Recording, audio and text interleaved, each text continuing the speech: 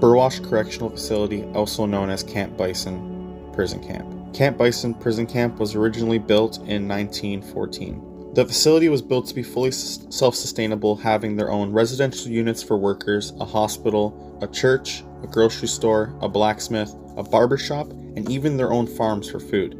The building was built to withstand about a thousand inmates at once, but they never reached the full capacity of this place.